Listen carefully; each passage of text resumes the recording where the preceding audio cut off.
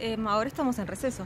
¿sí? desde hoy estamos em, en esta etapa y se ha trabajado bien, pero de una manera discontinua, ¿no? porque hay cursos que tienen muchos em, profes que están trabajando en las aulas virtuales o por otros medios, porque no solamente se utiliza Google Classroom, sino que hay otras formas de comunicarse con los chicos, pero hemos notado que en la última etapa es como que decayó mucho la actividad.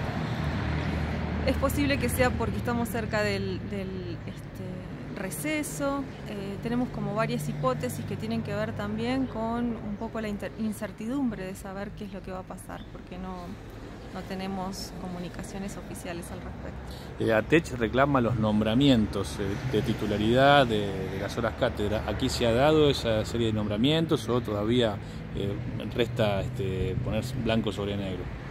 Eh, no, nosotros no hemos hecho eh, nombramientos.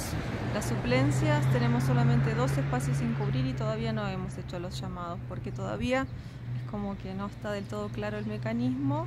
Entonces, eh, con el vicedirector decidimos esperar hasta que se clarifiquen bien la forma de llamar a los suplentes. Y en los casos que no se da clases de manera virtual, ¿es por una cuestión de adhesión a las medidas de fuerza? Sí, nosotros tenemos un alto porcentaje de profesores y profesoras que están adheridos a la retención de servicios. ¿Cuál es el plan para los eh, egresados y, y, para los que iniciaban este año eh, sus, sus, primeros pasos secundarios? Bueno, respecto del primer año, eh, nosotros la mayor cantidad de aulas y presencia docente la tenemos en primer año, o sea que en un punto estuvieron muy acompañados los chicos, igualmente según trascendidos, quienes serían prioritarios a la hora de la vuelta serían los chicos que inician eh, los ciclos, o sea, primero y cuarto, y los que terminan, ¿sí? En el caso nuestro es séptimo.